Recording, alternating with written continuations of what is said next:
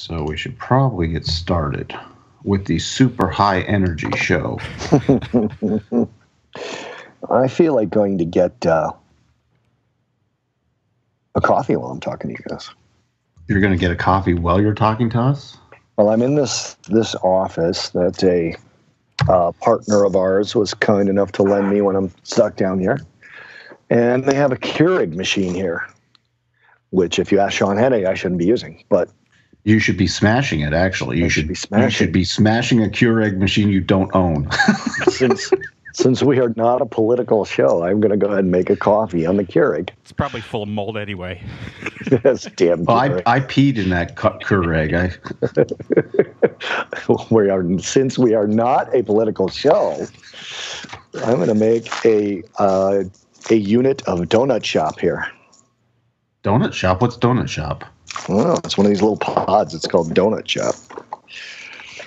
Does it taste like a donut shop? I mean, I don't. I don't know. know. I mean, my, my options here are French Vanilla Supreme from Gloria Jean's, caramel cappuccino, which just sounds awful, Pike Place roast from Starbucks, or Folgers. Oh no! I almost the donut shop's decaf. We can't have that. Dude, that that would that would crush you. Eh, you know what? Well, the donut shop.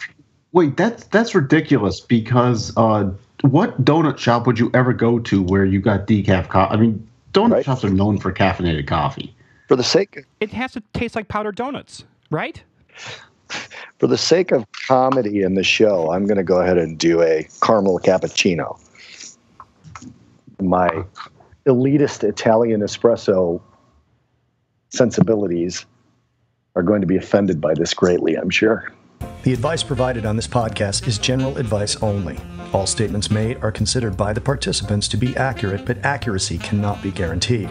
It has been prepared without taking into account your objectives, financial situations, or needs. All participants in this podcast, including guests, may have a financial interest in any or all of the products or services mentioned. Before acting on this advice, you should consider the appropriateness of the advice, having regard to your own objectives, financial situations, and needs. If any private products are detailed on this podcast, you should obtain a product disclosure statement relating to the products and consider its contents before making any decisions. Where quoted, past performance is not indicative of future results. Recorded November 17th, 2017. It's the Money Path Podcast with your hosts, Bob Iaccino and Mike Arnold, founders of Path Trading Partners. On this week's episode, the What and the Why is sponsored by Motive Wave. Go to pathtradingpartners.com and download your 14 day free trial. So let's join Bob and Mike with a casual conversation of news and the markets. Uh, well, I had I the county beverage tax. I'm supposed to leave 50 cents by the Keurig machine. What was that? You have to pay for this copy? Cook County beverage tax. No, but there's a sign here that says leave 50 cents for Rahm Emanuel to come and pick up. Teamwork. Oh, when? It's in the mail. uh, don't even start with don't even start with taxes and the tax bill and everything else with me. Speaking of Chipotle, Speaking of Chipotle, what, what does that have to do with taxes and the tax bill? And are we ever going to get tax reform? Is Chipotle ever going to stop getting blamed for poisoning people? Almost died.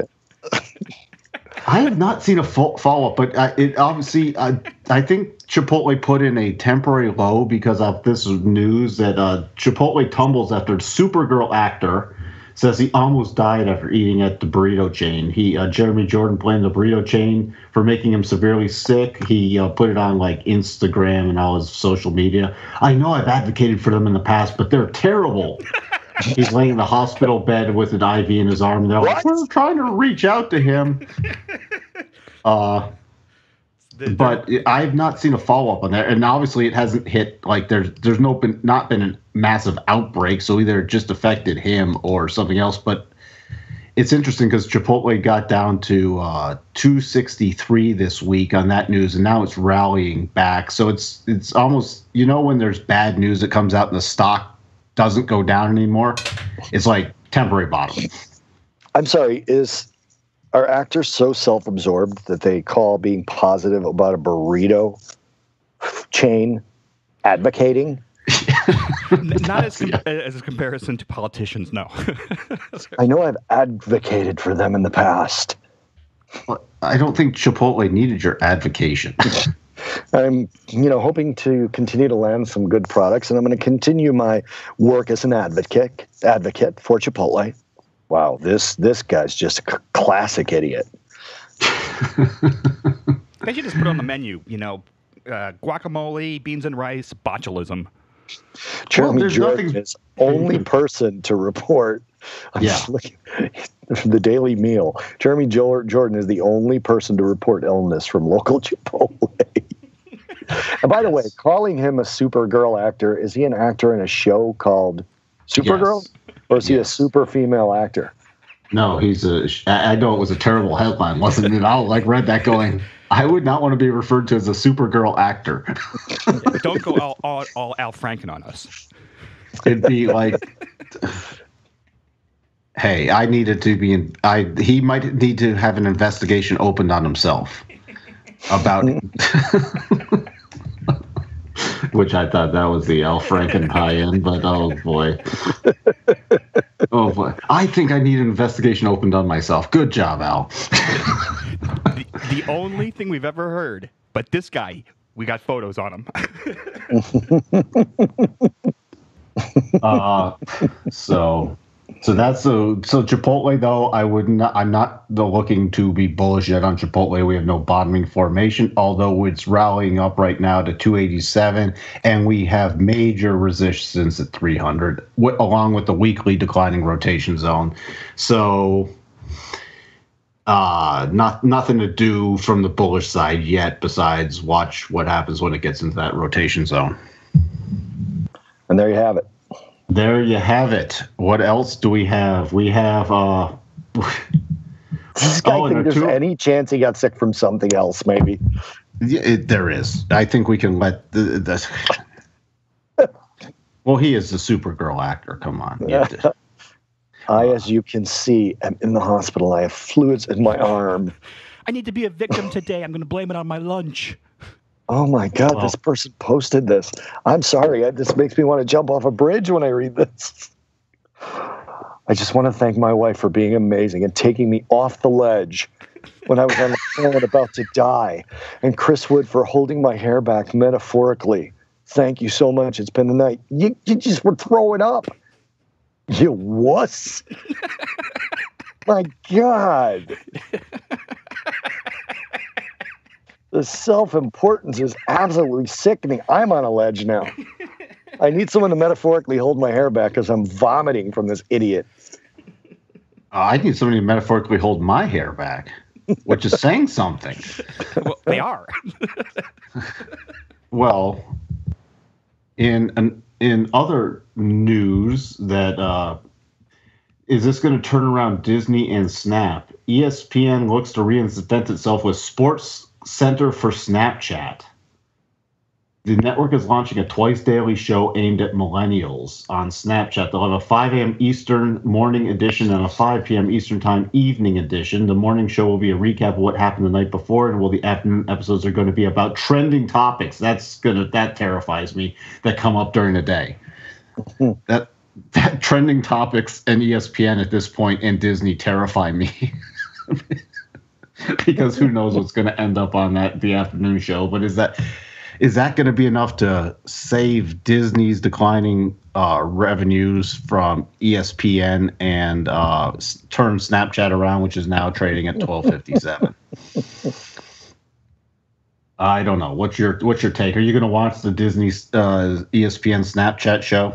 I am not on Snapchat. So, no. But it- they're going to roll out their new platform and completely redesign it to cater to old people. Okay, fine. This is, uh, are we starting out with ridiculous corner? Is that what we're doing right now? So um, My guess- that- My guess is that the users of Snapchat aren't all that interested in sports. I don't know why I think that. what? Because you But ESPN is all, all politics now, right? Sports is only 10% of what they talk about. That is pretty much they have managed to politicize pretty much. That's why I'm terrified on the afternoon show. Like so and so instead of like their the so and so scored like uh, uh, 30 points in the game last night, it's going to be so and so decided to have this political stance last night in the middle of the game. Let's report on that. It's going to be like not facts anymore about their performance or like the on base percentage or the free throw percentage. It's going to be like in quarter three, he managed to protest this by wearing these kind of sneakers. It's oh great. so there we have the our new our new uh, our new forum for that. And uh, in other social media news, you know, thank God for Snapchat because if it wasn't for Snapchat, I'm sure we would know that Supergirl actor Jeremy Jordan was sick from Chipotle and he was the only one, and he was about to die. And someone had to metaphorically hold his hair back. That's going to be the I just, I show. just, I can't today when reading that. I just, I can't. Ugh. All right, sorry. Triggered. I'm triggered. I've been triggered.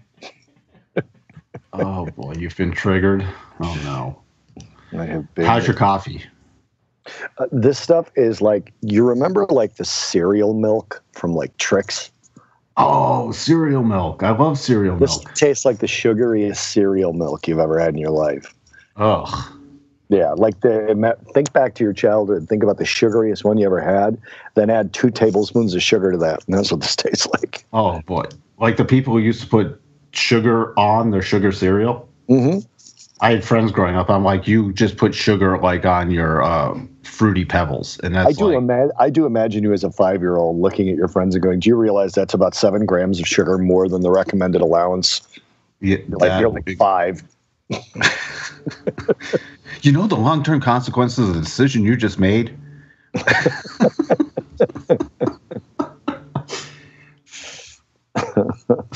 and don't eat at Chipotle because one day. Make sure you have a wife so she can save your life. I was on the ledge. That's why I ended up shaving my head because so I wouldn't have to metaphorically have somebody hold my hair back. I wonder what level of dollars in the lawsuit from Jeremy Jordan for the blotchiness. My face was blotchy. I'm blotchy. I'm suing Chipotle for a million and a half dollars. Ah, so well, he could now go to the local new uh, Facebook sets to take on Yelp with its new app called Local. so it's another, you know, they tend to copy things like Instagram mm-hmm. copied a bunch of Snapchat features and uh, you know WhatsApp and everything else, and they just modify what's hot out there. So now this new app, which I don't know why they need a new app, but they need a new app, will still track will track events and even offer curated suggestions for local events you might want to attend. But its main focus is now on surfacing places to visit partially based on recommendations from your Facebook friends. It's very similar to Yelp in terms of scope. You can look for restaurants, attractions, bars, and other local going on, except it's driven by Facebook's data. Interesting. So I saw an interesting thing. I don't remember the guy's name, but one of those celebrity chefs, the guy who eats the weird stuff, like goes in. It's not Anthony Bourdain, but it's like the guy who goes and eats worms and goat eyes and things like that. He's bald guy, kind of heavy set. I saw an interview with him, and he said that he he said Yelp is useless for finding good places to eat when you're out of town. He said what he does is he go finds out who the three or four best chefs in the particular town he's going to are, and then he goes to their Facebook page or their Instagram and he sees where they're eating, and he sees what they have to say about those places. And he says it's just much more reliable than Yelp, and much you know he ends up with better meals. And I thought that was interesting in light of this story, because now if you're going to be on like this Facebook local app you're going to be following the same guys. Essentially, Facebook is going to be doing for you what this guy used to do on his own. I thought it was interesting. So I, I have high hopes for the success of this particular Facebook app. Well, there we go. Fantastic. There you uh, I also have uh, pullback on a weekly chart. It pulled back this week to the weekly top of the weekly rotation zone, rotating back up as we speak. The new projected price targets are 185.57 and 188.23 on Facebook. We never talked about the uh, the Roku IPO. By the way, I do keep drinking this coffee. The Roku IPO was fascinating, wasn't it? I mean, that IPO, it, uh, 1575 and traded up this week to 4880. Now trading 3939. That's so that's the only recently successful one. yeah. Yeah.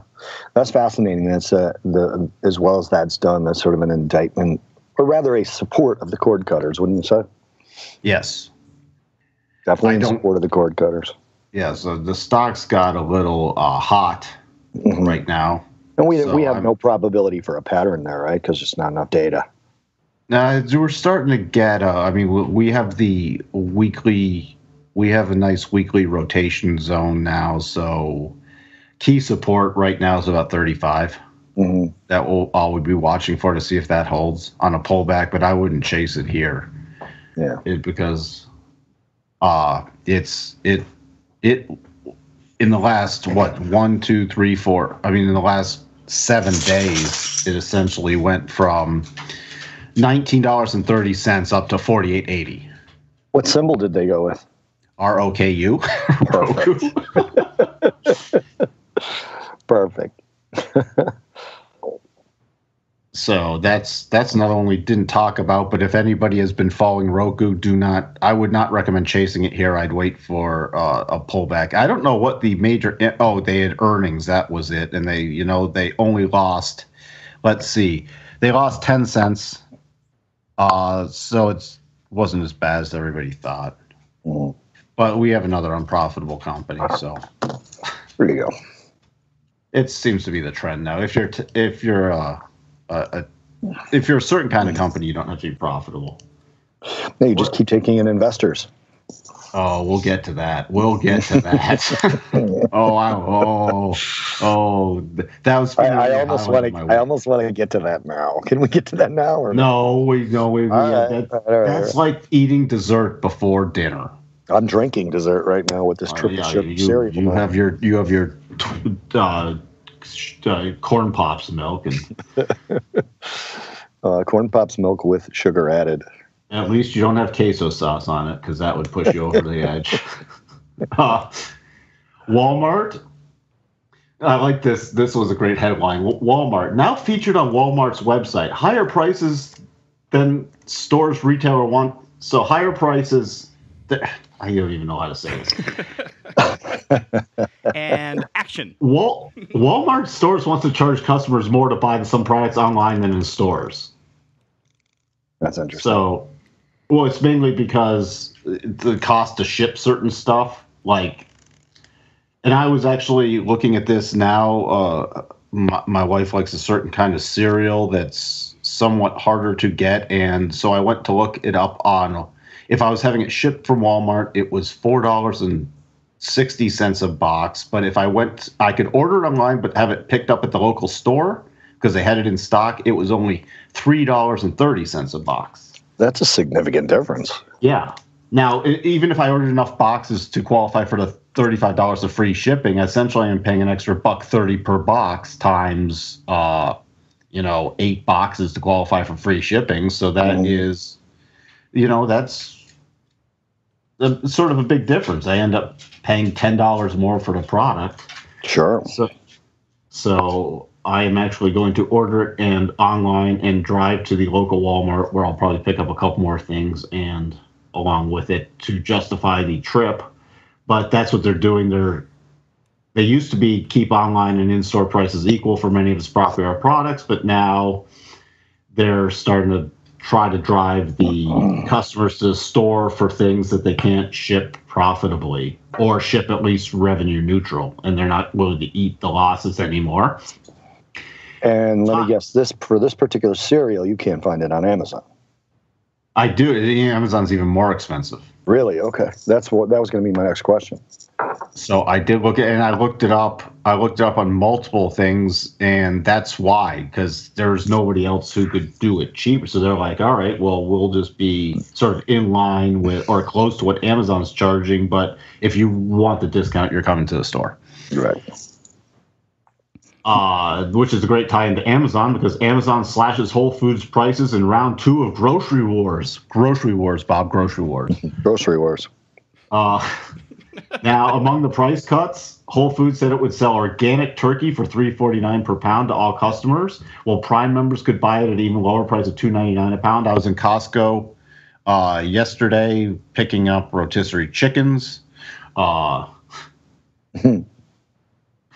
they're so they look at me so weird because every time I go, I just buy two chickens at this point. They're like, "You must really like your chicken." Although the other day I did go and I, I had two rotisserie chickens and a bottle of Jack Daniels, and the guy looks at me and I'm like, lunch. the guy actually fell over laughing. It's like, that's the funniest thing I've heard today. In a decade, that might be true. so, uh, That's awesome.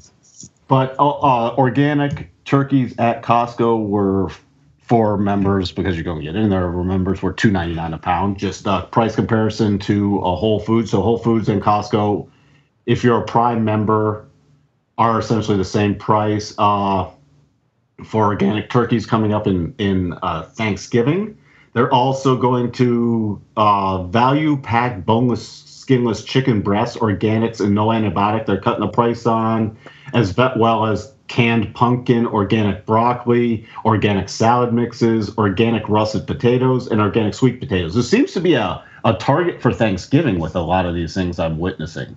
Wow. So there, that's the round two of grocery stores. Grocery wars. This year for Thanksgiving, though, you have to get permission before you touch the turkey breast. Oh, Jesus. Okay, Al Franken. uh, and, and in other Amazon news, Amazon's cashierless store is almost ready for prime time. We talked about this months ago. Remember that on the sh- where you walk in, you they sort of take a photo of you, and then you scan your phone when you walk in, and then you go walk around, pick up items, and anything you leave with, you just get charged on your your account. Uh, they're almost ready to roll that out. They've worked out most of the bugs with it. So some challenges still remain, but now they are looking to hire. Uh, they've shifted from hiring engineers and research scientists to uh, hiring people to actually roll out the stores. and then firing those people months later. Yeah. Well, these are the people who sort of build the stores and put everything into place. So Yeah. uh, that's they're going to roll that out, and we're going to see how that works. But if they actually got the technology down to that, there was a funny article I was reading it that they were testing the concept by Amazon employees dressing up in Pokemon outfits, trying to fool it. Like, okay, they Pikachu. They all they all went in as Pikachu. Like, I'd go in as Jeremy Jordan. All from pale. Supergirl fame. Supergirl actor Jeremy. Yeah. So they couldn't. And then they they that was I think that was what that what made them go mainstream was that Pikachu couldn't even fool the checkout process. So if you can't fool it being Pikachu, it's good to go. So far in the uh, Amazon HQ2 sweepstakes, Dallas is a top contender. Crystal City is a top contender. City. Hmm Where's Crystal City? Uh, I believe that's in Florida. I, that sounds like a super. I'm sorry, surrounding it's it's near Washington D.C. Okay. Crystal City and Baltimore is in the top 25. That's according to sources I'm not going to name. It, it- well, you said you were you were thinking Chicago could be in the running. I was thinking, but so far not not so much. Interesting. Well, I, they probably have to pick like either the Washington D.C. or Baltimore area because of the tie-in with uh, the CIA. there you go. They got to be close. See, I figured it out. Look the at that. Washington Post. Yes, it's all there. It's all the pieces are together. I All will- the pieces. All the pieces. Uh, speaking of pieces, oh, this is a good tie-in. Pieces, game pieces, puzzle pieces. Hasbro sets its sights on Mattel. Do so we- ha- Do we have any idea how much those two toy companies have gotten into electronics? Yeah. Are they uh, are, are they in them a lot? They I mean, were are they in the big video game crash of the 80s, for sure. Yeah, Yeah. They, they they dived in big time. Mm, Hasbro and Mattel. Gotcha. so Hasbro was is looking to take over Mattel. Uh, that's been sort of an off again, on again rumor for many years, and now I guess they submitted an offer, but later does Mattel has rebuffed Hasbro's latest takeover approach, and this is from people familiar with the matter. Mm. So we don't know because we don't know what the offer was yet. Uh, but Mattel has informed Hasbro of its proposal undervalues the company, does not take sufficiently into account potential for regulators to reject the deal based on antitrust concerns. What? you can't have Barbie and GI Joe manufactured by the same company, people. Right? It's not good competition.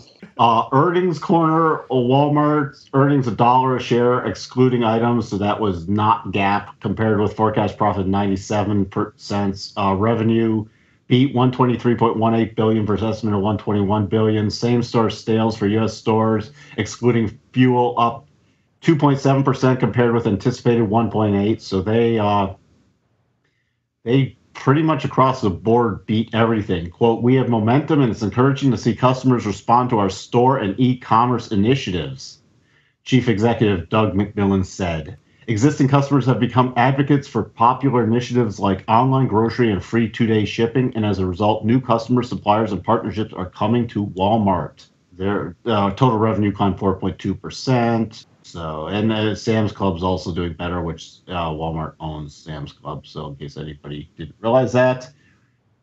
So, same store sales at Sam's Club were, were up 2.8% in the third quarter compared to 1.4% one year ago. That's about Walmart and their stock up to $100.13. That nice round number now pulling back 97.34. It's made its first run at 100. So, and we know people love that round number and generally sell the first couple runs to 100 and then yes, it breaks through with a vengeance. Yes they do. Because that $100 is how i just come up with the stock 100 bucks. Got to be 100 got to be 100 so company that didn't do so well uh, but is holding key support still is best buy reporting mm-hmm. disappointing third quarter results on thursday uh, its forecast for adjusted earnings for the fourth quarter was 189 to 199 per share, well short of analyst consensus expectation of 203 per share. So it's slashing its guidance. Same store sales only rose 4.4% in the quarter, ending October 2nd, missing analyst estimate of 4.8. So that's a pretty big miss on same store sales. Uh, although the net income rose and their earnings rose, uh, so, but they were really focused on future guidance. That triggered a weekly. Did that trigger? Hold on. Let's see. No, it still has. It's still like valid. I was watching this on the weekly time frame. It's still a valid weekly double top, confirmed double top, but not triggered. It has to close below 52.97. Hey, what was the double top we were looking at last week where the trigger was like 303? That was Tesla. Tesla? Yes. We'll get to that. Well, since we can just get to that now, since you already brought it up. Can we please? Well, they're first before we get to their new oh uh, launch. Their t- this was the headline this week. Tesla's a hotbed for racist behavior. Black yeah, I saw that one. So they're getting sued by more than 100 African American employees, complain uh, saying that there were just not good working conditions and very racist working conditions there. So we'll have to see how that play out. But that's just tying up Tesla in another lawsuit, which will could potentially hinder some things. But the big news last night, did you stay up to? Well, it was not really staying up, but it was 7 p.m. West Coast time. Uh, they rolled out their all new electric truck, that uh, aptly named a Tesla Semi. like, what else you gonna name it? Why? Because it's gonna be semi-complete for the life of the truck. Oh, that's a good one. It's gonna be semi-built. it's gonna be semi for sale. So now the big thing was uh, Elon was uh, the big leader for this was the Tesla Semi will go to zero to sixty in just five seconds. Why would you want to do that? I don't it's, know. That's what everybody was fawning over. That's unloaded, of course. You know, this is a this is supposedly a class eight transport, which is which is the big boy. It can go up to 65 miles per hour on a five percent grade. It can go to zero uh, to 60, towing 80,000 pounds its max load in just 20 seconds. So it, uh, they're touting all the specs on this. Uh, it can go. Oh, they're also going to have to roll out their mega charger network, so it can go like 500 miles on a charge, but then it can get up to 400 miles of range on a single 30 minute charge in addition while you're loading and unloading by detaching the cab. So they're going to roll out this mega charger network worldwide. They're not supposed to start building this for a couple years, which I want to know how they can't even build a Model 3. Now they're going to roll out uh, trucks. They're starting today to take deposits on these. Like it's. and but they did yeah, announce that's the thing I found amazing is they're they're taking fifty thousand dollar deposits already. It the more they do that and the more they under deliver on the vehicles, the more they come across like the the Madoff Motor Company. Yeah, well, here's the worst part. So they did announce the price, mm-hmm. and they didn't truck. announce they yes they did not announce the price, and they didn't announce everything else. They didn't announce a lot of they announced like some of these lottie dot specs like how fast it could go and everything else. But they didn't now. Uh, they said it could be a level eight, but they didn't announce how much the truck like because you have to weigh the whole truck. Like you have to know how much battery packs and everything else are on it to figure out how much you can tow. They didn't announce that. They didn't announce the weight or anything else. So you don't know truly what you can carry on this truck. Mm. Yeah, how does it deal with the legal weigh stations? Yeah. That's right. So Right. they, which is, I'm like, you didn't announce that, which is, I'm not putting a deposit down on a truck.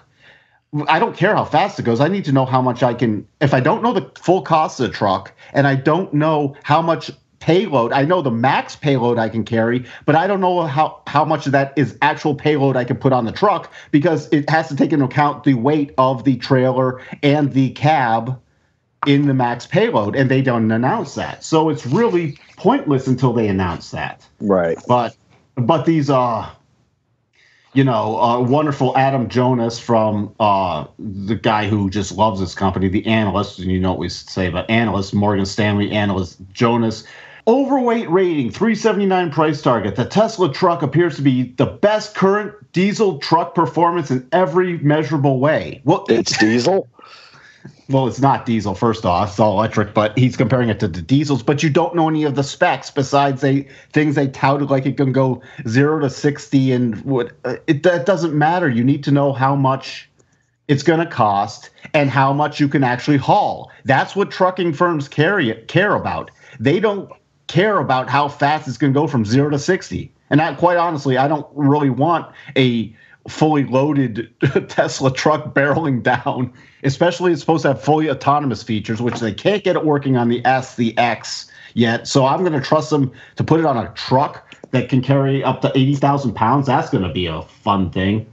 Honestly, those Tesla reveals, man, they sound like a. So I was watching clips of that, and the people in the audience smiling and cheering and screaming. It was like it was a Tony Robbins event. Yes. You know, it just doesn't look like a serious company, serious reveal of serious products. It's just filled with these fanboys that want to see Elon up close. It's just the Well- weirdest thing. It's just well, the weirdest thing. With what the icing on the cake for me was when they rolled out at the very end the new Roadster. Yeah. The uh Beautiful. that they s- so yeah, well, crazy fast acceleration, zero to sixty in just one point nine seconds, zero to hundred in only four point two seconds. Top speed north of two hundred fifty mile per hour, six hundred twenty one miles estimated range, which they are the earliest they're going to start building is twenty twenty. And do you know you could starting today you could put down five thousand dollars due immediately, and then two hundred forty five thousand dollars is due within the next ten days. So you're putting down two hundred fifty thousand dollars total, and you could be one of the first thousand people in the member of the Founders Club to get this car. So The club to wait for the car. Yes, well, which is not is projected to even be built until 2020. If you had an extra two hundred fifty thousand dollars, are you tying it into? Are you giving them two hundred fifty thousand dollars, interest free, not guaranteed, on a car that they think they may be able to build in three years? Is so far, they have not proven to be able to deliver on these deposits either. I mean, it's one thing to put down like a thousand bucks refundable on a Model Three, okay, you know, but you're going to put down two hundred and fifty thousand dollars. You know what you can do with two hundred fifty thousand dollars to generate mm-hmm. money in the next three years? I know. Idiotic. Uh, that was the biggest. It's like, okay, we're, we don't need to raise money, but we're taking deposits on all this vaporware because we need to raise money. Yeah. That again, that's what I mean. I mean, it seems like they can now take the deposits for the truck and the roadster and they dump it into the Model 3 to try and get some of those out. Then they announce something else, take deposits on it and dump it into the truck and the roadster. And it continues until the Ponzi scheme explodes. This is this is like turn. It's your, it's like the Madoff event. It's like you know. The, Yeah. Didn't they also say they were going to build a pickup truck and a Model Y by 2019? Well, they don't even have enough capacity in their Fremont plant now to build more than 5,000 Model Threes a week. They'd actually have to find a new plant. So where are they going to build a Model Y, a pickup truck, a semi truck, and a roadster? Mhm. They're they don't even th- th- you know the cash burn to generate a whole new production facility and all the capex spending that has to be done, especially for a semi truck. Yeah. Uh, it- it- it- and they're already burning through. How much is it at this point a day? I mean, And firing all their employees. so this is just this. This is and the people who just it- it's it's the cult of Elon. It's like oh whatever It he really says. is. It really is. And there's a lot of people that compare it to, well, Amazon didn't make money for a long time. Amazon was selling established products. They just had to procure the products and try to get the price down and, and get the the delivery methods together. This guy's creating products and has to deliver on those products, has to service those products. And they're hard products. As many a billionaire have has tried in the past to create their own automobile. Who was the last successful one? Lamborghini? Has Lamborghini ever gone through? Oh, Lamborghini Any- goes way back though. Yeah, I mean, they ever he gone through restructuring? Right, or he wanted a? Ferrari, but they, Yes. he wanted a Ferrari. They didn't have a car he liked, so he built his own. when Chrysler bought Lamborghini, that completely revolutionized the com- the company to get modern with their electronics. So yeah, this is this is a. We are obviously not fans of that stock on this show. what Tesla. Yeah. I I'd, love think to have, I'd love to have a roadster that beautiful that does 1.9 seconds, zero to 60. That'd be great. There is simply no opportunity for the intelligent person to put money down on that. well, it's essentially you just it's I I guess you either you're not smart with your money because you're like I'm going to throw tie up two hundred fifty thousand dollars for three years on the hopes that he'll produce something, or you just have more money than you even know what to do with. So, and what what'll that do? I think so. What's a thousand times two hundred fifty thousand? What's that? Two two hundred fifty million. Yeah, That's a two week cash burn for them. crazy. I mean, they burned through 200. It's, it's absurd. Uh, now, in a company that is doing something, the the Cadillac Super Cruise may lead to safe hands-free driving. This is Consumer Reports has been testing the new Super Cruise feature we talked about. They've done their first extended use of the system. The system is limited to specific roads, so it's essentially geofenced on highways. Uh, so they can control, you know, where it can be safely implemented. Quote, this is from Consumer Reports. The way that Cadillac has implemented Super Cruise is the best example we've seen so far of semi autonomous feature that offers convenience without trading off on safety. That's great. Jeremy Jordan could have been driven to the hospital by, by this car. So uh, this is also from Consumer Reports. Quote, too many of these features give drivers the impression they can pay less attention what's going on. Super Cruise monitors drivers intently to make sure that they're engaged in a way that no other current system does because it actually tracks your eye movement in the car. And if it's like you're not engaged, uh, even when it's driving, if you're not engaged on the road, then sorry, you, you have to take over. So it's that which is interesting. Unlike I saw a video for these these people, which I would never post on YouTube. Some guy posted how to fool uh, Tesla's self driving because you're supposed to keep your hands on the wheel for Tesla, so it senses wheel pressure. So the guy puts a bag of rice on his Oh, my On Lord. his- and he films himself. This is how to. This is the Tesla hack, so you don't have to keep your hands. Would you post that? Because if you're ever in an accident, that is public. Did you see the fireman? What's all this rice?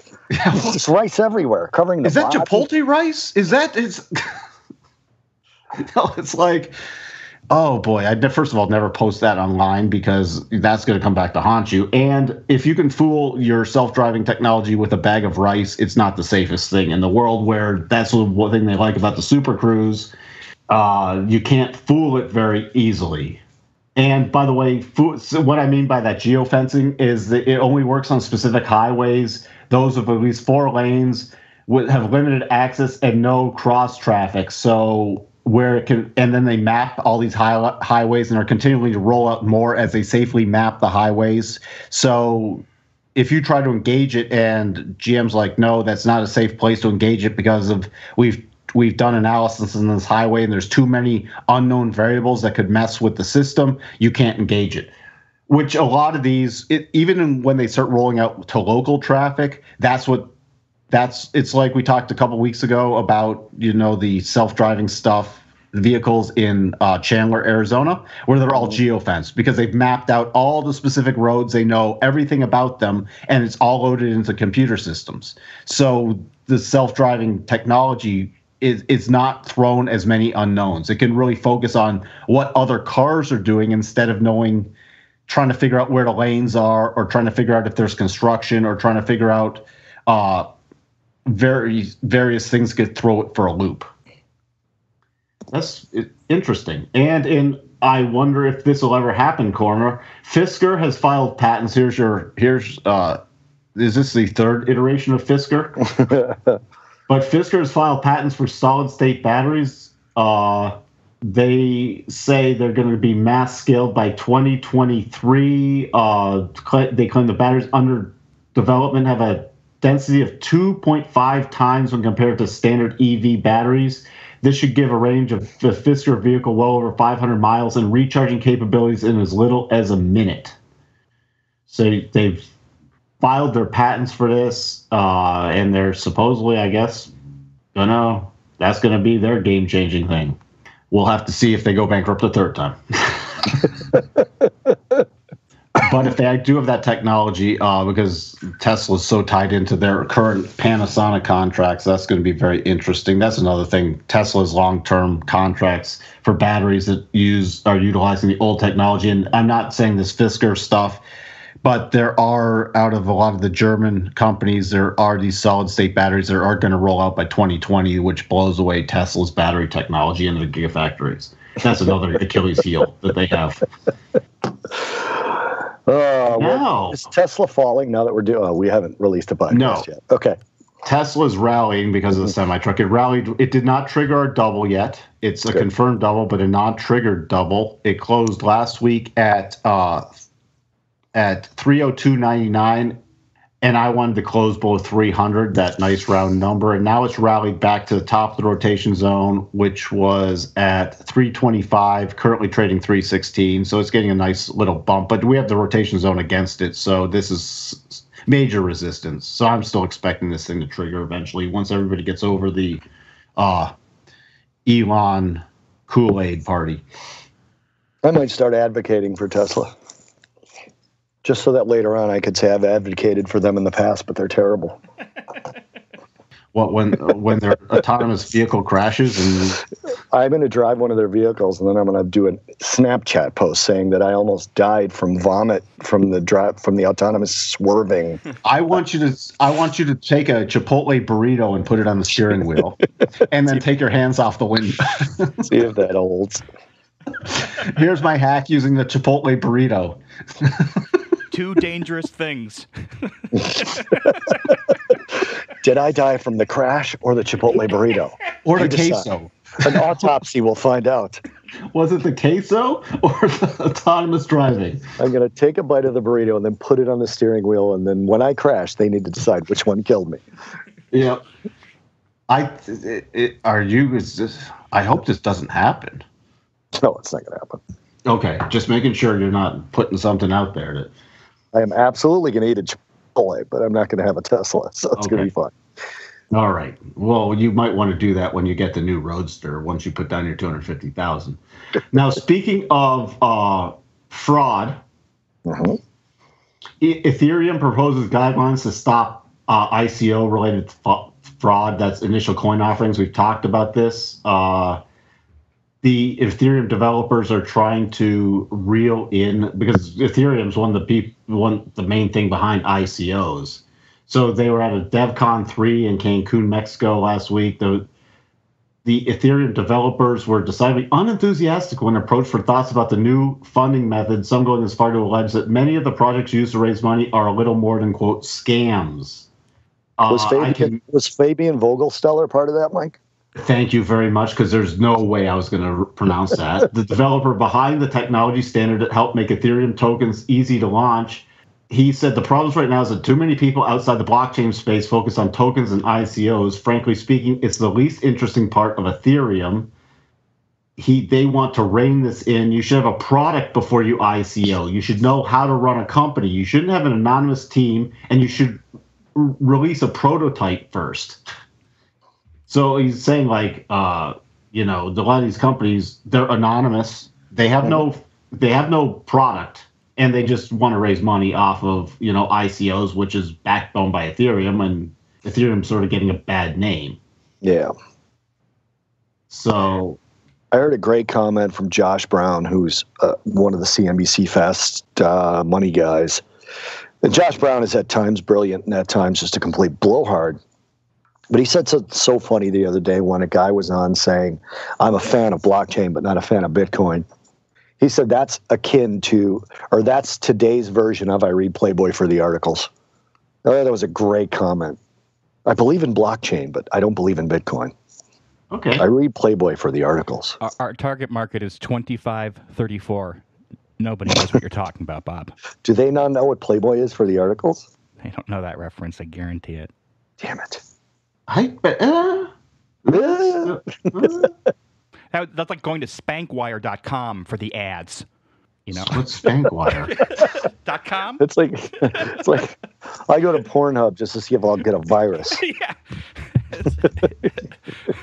At least you won't end up in the hospital. Truth. Uh, Depends Now- on, depends on what you're into.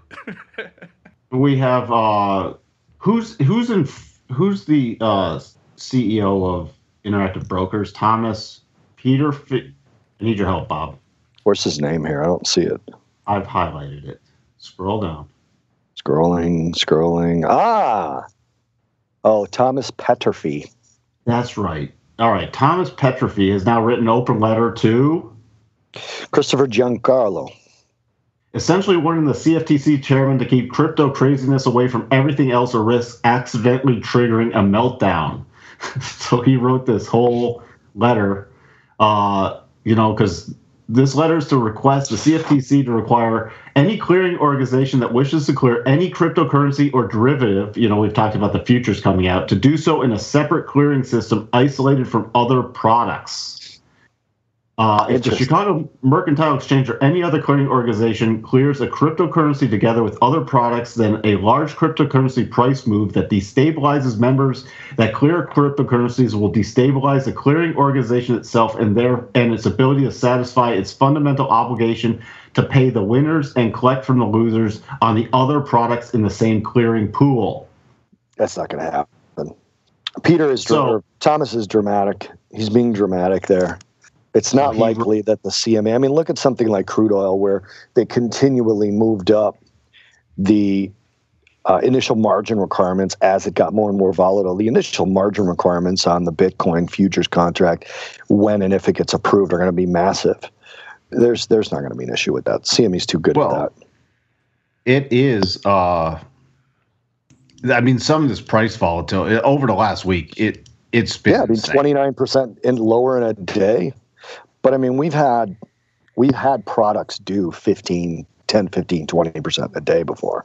Oh yeah, because you look at look at look at grains during a major drought or lumber Exactly. futures. You know, you can. Uh, you, some of this stuff, though. All right, the most egregious though was uh, Bitcoin, and, and I follow this stuff every day because we, we post videos on the YouTube channel. But for example, Bitcoin uh, Cash Mhm. Going from uh, let's see, in the matter of three day, less than three days, going from a price of under six hundred to twenty eight hundred, Wow. and now back to eleven hundred.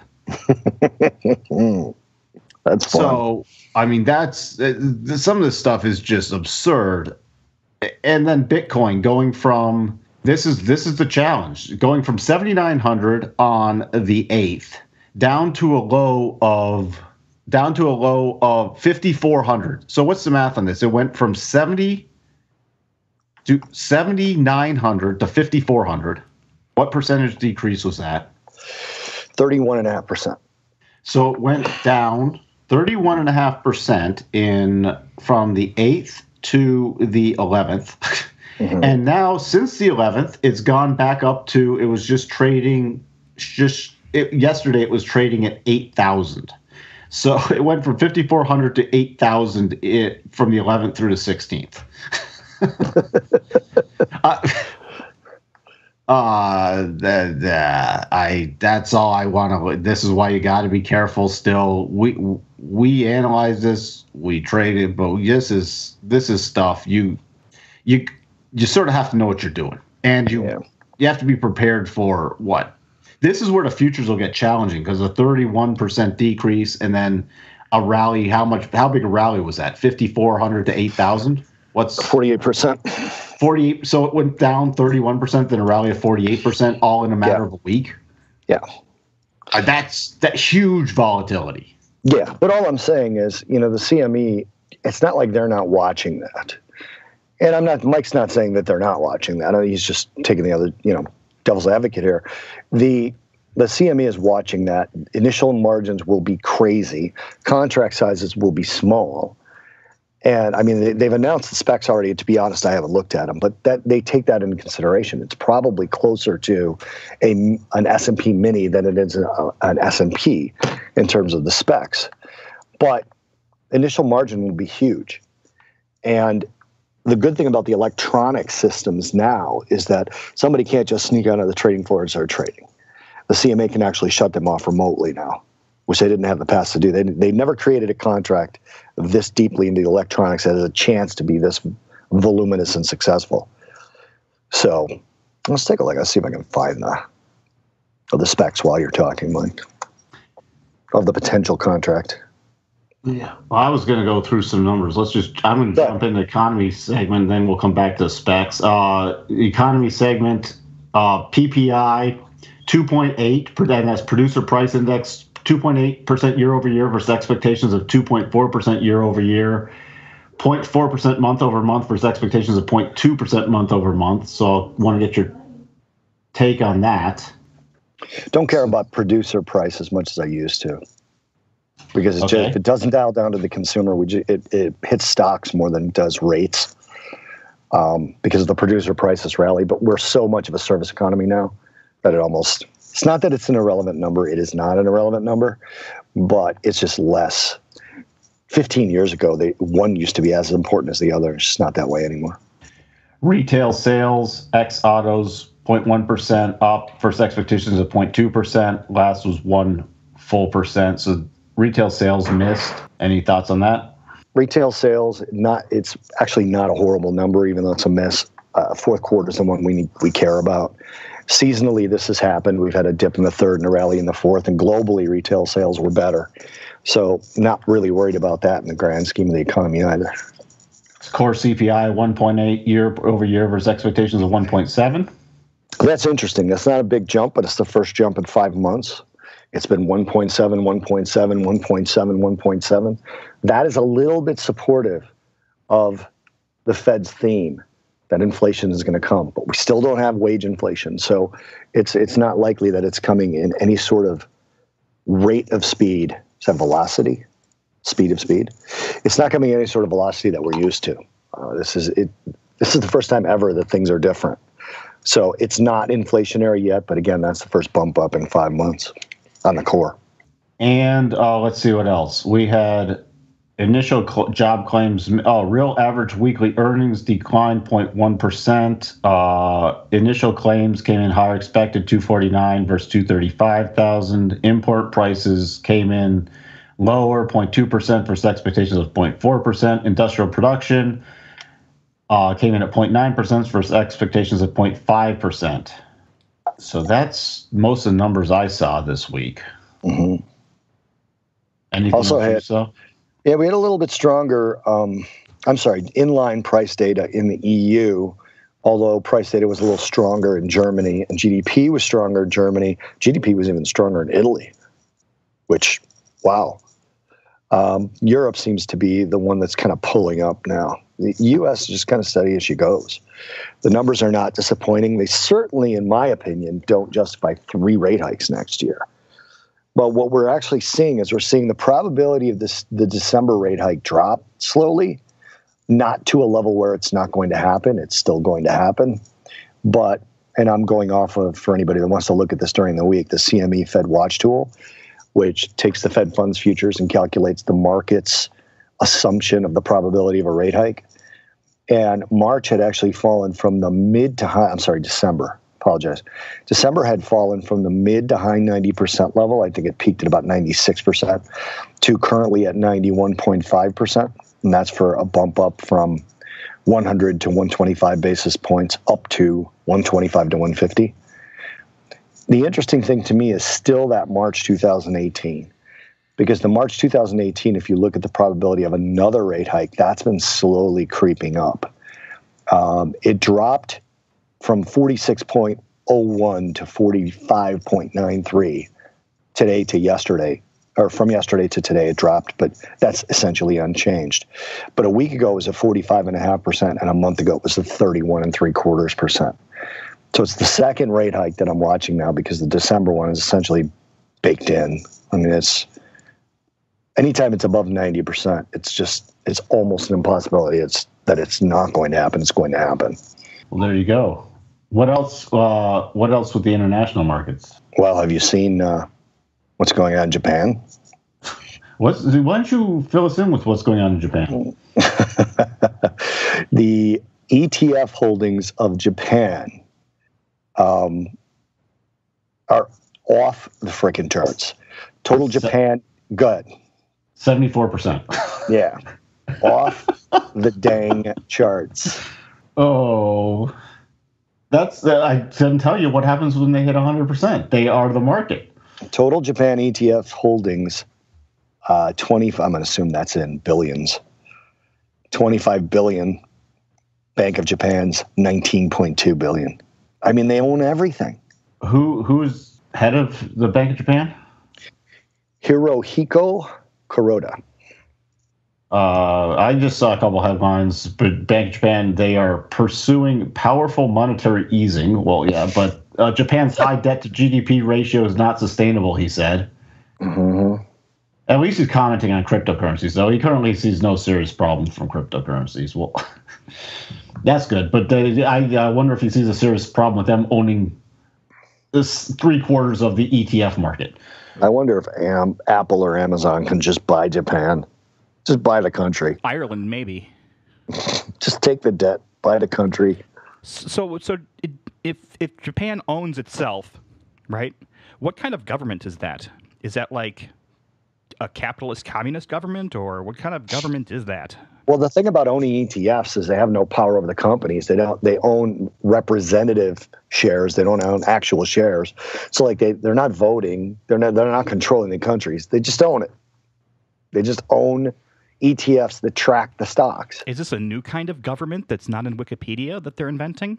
I, oh, No. is this good? Is this bad? It seems like they can do it. it's terrible because at the end of the day, if the actual stocks were to were to plummet, um, the bank can't.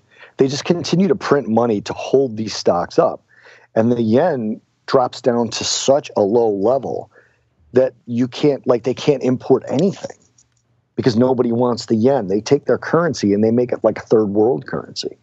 They make it worse. You ever see that like fake Zimbabwe million dollar note floating around? They make it like that. You just devalue the, the currency to the point where it has no value. And that's not good for anyone in Japan. No, that would be if, if there's a major global stock sell off, Japan is going to be in a they're going to be in a world of hurt. Yeah. Yeah, That, that yen is going to be worth about as much as an old DVD of an Al Franken movie. going to be worth as much as Tesla vaporware. I was just reading this came across you did all right, so the Model 3 deposits are secured. You know, if Tesla goes bankrupt, you you're a secured creditor, which means you're yeah. The all the deposits that they announced last night for the Roadster and the truck are unsecured. Would you make an unsecured deposit? Because if they go, if they go into, let's say they have to go into bankruptcy proceedings, your your money's gone. Listen, everybody learned their lesson during the financial crisis as to what is, at least I hope, as to what is even a secured deposit is. I mean, you had principal guaranteed notes with secured principal, secured by Lehman Brothers and Bear Stearns. That when those companies went bankrupt, they were not secured. Those people did not get their money. Yep. I wouldn't even do a secured deposit at Tesla, let alone an unsecured one. They're only as secure as the company is. Right, but now it's blatantly saying we're not even securing these. Yeah, so it's no, like my, we're not even attempting to secure them. That's what's scary to me. It's like, okay, well, we're not even going to pretend anymore. wow. All right. Do you want me to do? It's do you want me to buyer do beware. Do you want me to do yes. crude? What do you want me to do?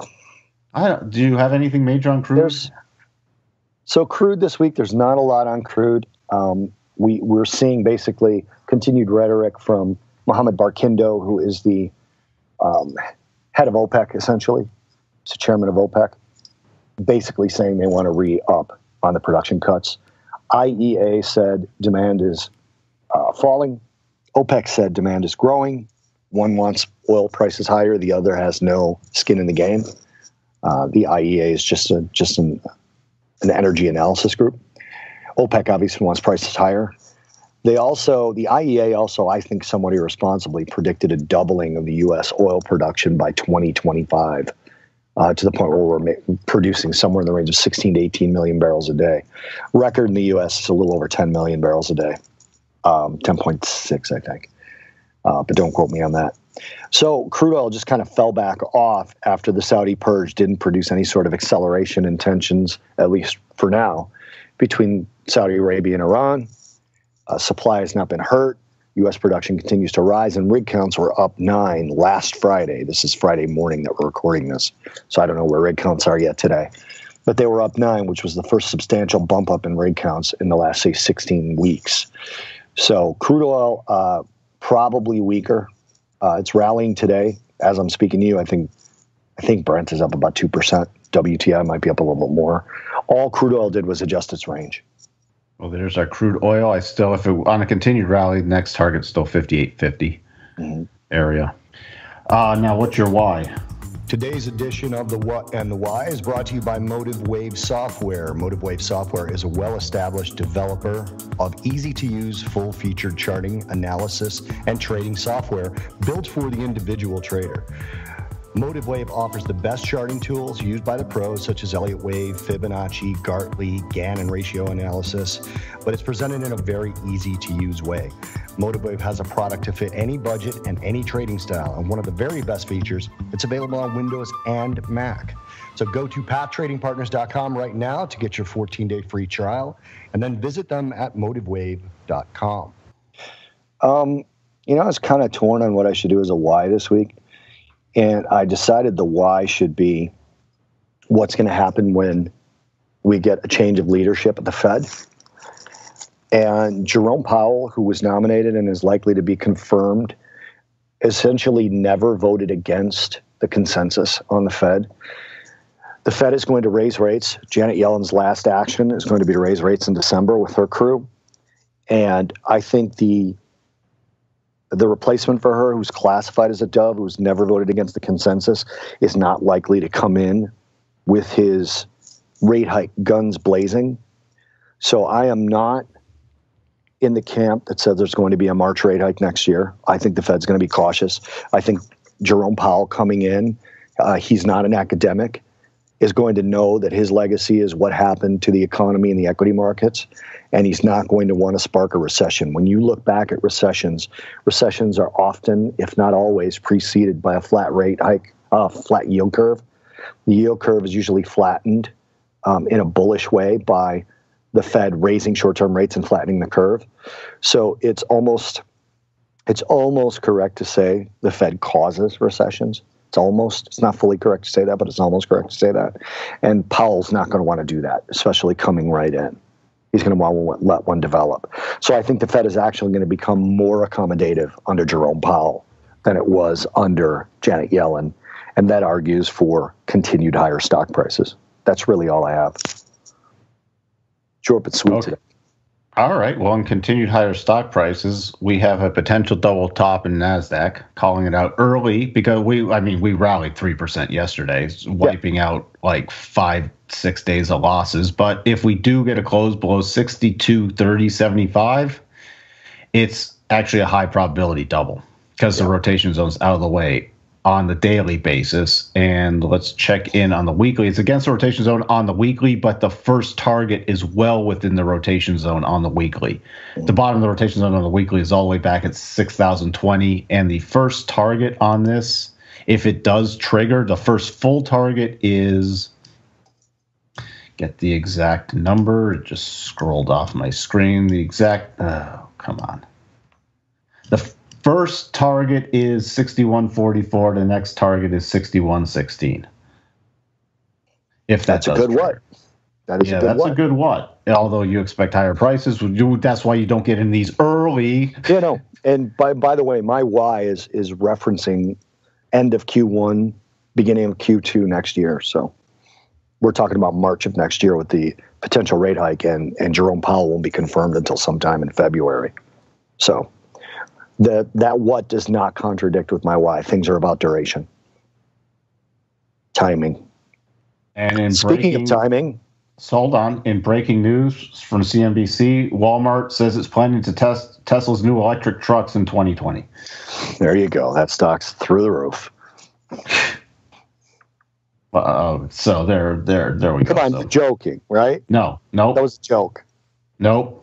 It's all about stock promotion this week. They're going to pump this up as much as possible. You know, as I always say with the fluff pieces in the press, or like whenever there's bad news, this is like, all right, we got to get as much out of this as possible before people realize we still can't produce a Model 3 in any uh, substantial way. And we run out of money in eight months. Keep talking about 2023. Yeah, the stock on that announcement, Mike, you ran up to like 320 and has fallen back now. It shot up to about 321.11. This, of course, as we speak, it's about 11:20 Chicago time right now, and now we're back down to about 315. So We'll see how much they can. We'll see if they can keep pumping this, or if it's just going to have this quick little run up, and then people are going to go, well, let's see what they can continue to actually produce until then. I think he's probably disappointed right now because the thing was yesterday after the close, right? And yesterday the close of Tesla was 312.50, and right now we're tra- we're trading 315.45. It's only three bucks. That's that's a huge disappointment. It's less than one percent. Anyway, And speaking of time, it's down. It's down. Hold on. What's it's down? Uh, what did it open at today? It opened at 325, and then it's now down. yeah, it's down from the open. Correct, way down. So yeah. Down. All right. Speaking of open. time. Speaking of time, Yeah, that's it. Thanks for having me again, guys. I'm Bob Iaccino. And I'm Mike Arnold.